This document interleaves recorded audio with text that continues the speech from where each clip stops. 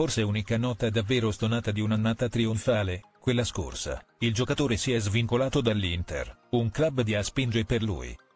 Nemmeno 200 minuti in Serie A, con una sola singola apparizione dal primo minuto, 82 in Champions League, per lo più quando la partita non aveva più nulla da dire.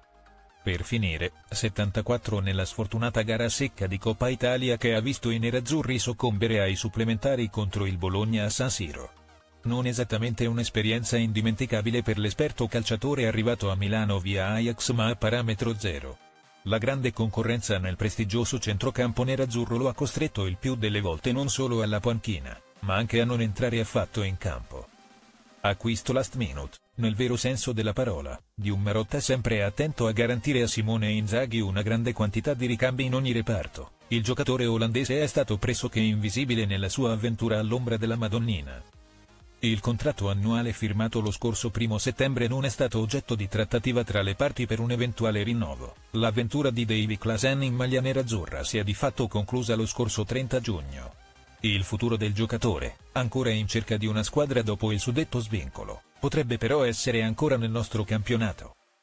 Indiscrezioni dell'ultima ora confermano l'interesse di un blasonato club appena risalito nella massima serie dopo un purgatorio in cadetteria durato fin troppo. Klasen, il club neopromosso corteggia l'olandese. Il Parma di Fabio Pecchia avrebbe visto nell'esperto olandese una pedina importante per il suo centrocampo. Sarebbero stati già avviati i contatti con l'entourage del giocatore, rimasto finora senza un club forse a causa del suo storico a livello di ingaggio, non esattamente uno stipendio basso, quello percepito negli ultimi anni dal classe 93. Ad ogni modo, se vuole evitare di restare qualche mese o addirittura un anno fermo, Klasen dovrà rivedere le sue pretese economiche. La destinazione crociata potrebbe essere perfetta per rilanciarsi, presumibilmente da titolare, in una realtà comunque ambiziosa come quella permense. Al momento non è stata ancora presentata alcuna offerta ufficiale ma la trattativa, essendo scevra da dialoghi col club di appartenenza, può infiammarsi davvero da un momento all'altro.